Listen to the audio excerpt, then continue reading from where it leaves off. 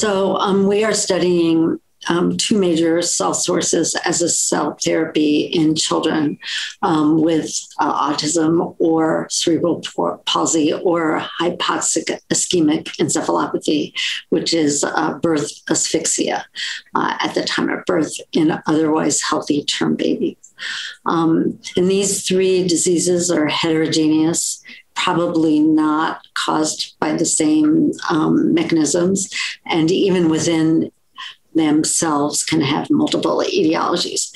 Um, having said that, um, in cord blood, um, whether you use allogeneic or uh, uh, autologous, you really only have one dose of cells uh, that can be administered because there just aren't enough cells in a cord blood collection to split it up into multiple doses. Um, on the other hand, in cord tissue MSCs, we can make multiple doses, 500 to 1,000 or maybe more from a single umbilical cord.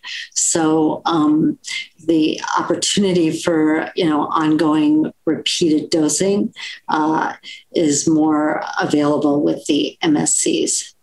Um, we we also are concerned about access to therapy and um, want if these therapies are beneficial, all children in need to have access to the therapies. And so, for that reason, we've explored both approaches in the diseases I mentioned.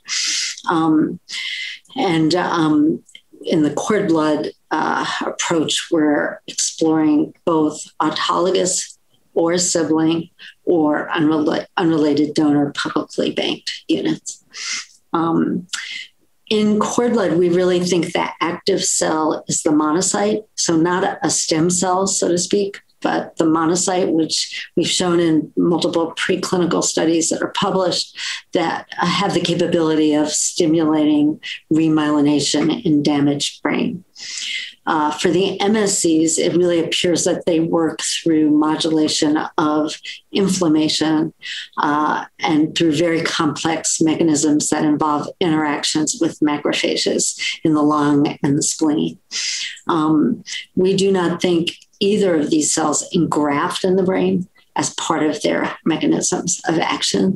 And I, again, I'll, I'll, remind everyone that we're giving them intravenously without any pre medication or cytoreduction or myelosuppression or immunosuppression.